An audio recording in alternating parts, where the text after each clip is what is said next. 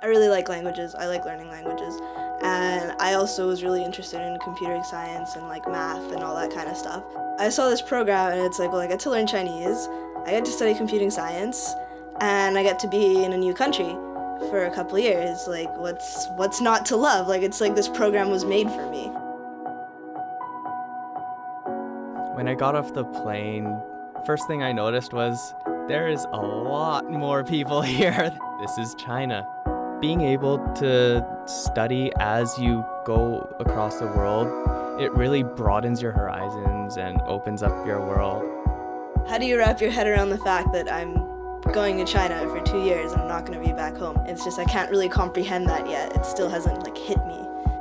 I have had a lot more time to think about what I really like in computer science and also to have more chances to experience new things and consider what it is that I really enjoy doing and from what I've learned, what I actually want to spend the rest of my life doing.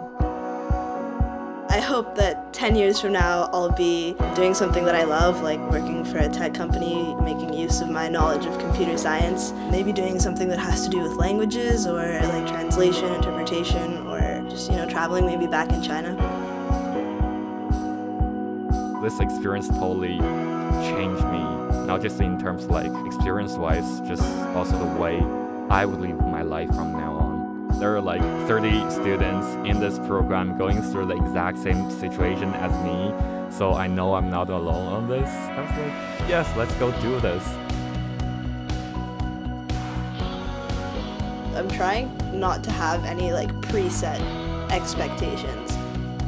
When I think about travel, I think of different cultures, different experiences, trying lots of new things, a lot of colors, actually, a lot of different colors. I still can't believe that it's actually happening.